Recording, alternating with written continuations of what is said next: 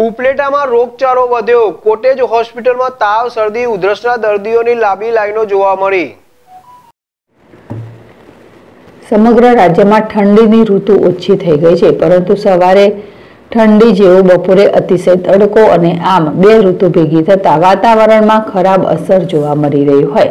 જેથી સમગ્ર જગ્યાએ રોગચાળો અતિશય વકર્યો છે, જેમાં હાલ રાજકોટ જિલ્લાના ઉપલેટામાં પણ ઋતુની અસરને લઈ રોગચાળામાં વધારો જોવા મળ્યો છે. આવી ઋતુમાં લોકોની શારીરિક ક્ષમતા ખૂબ ઘટી જતા તાવ, શરદી, ઉધરસ તેમજ ઝાડા ઉલટીના કેસો વધ્યા છે. ત્યારે ઉપલેટા કોટેજ હોસ્પિટલમાં જ સ્થાનિક તેમજ આસપાસના તાલુકાઓમાંથી આવતા પેશન્ટોનો ઘસારો જોવા મળી રહ્યો છે, જેમાં વધુ પડતા રોગો, વાયરલ ઇન્ફેક્શન અને શરદી, ઉધરસના જ જોવા મળી રહ્યા છે.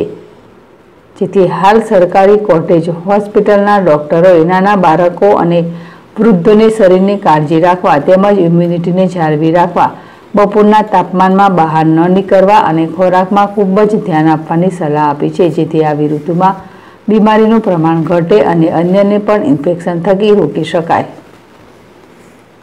વિપુલ ધામેચા, ચેડેશ ટીવી, ઉપલેટા.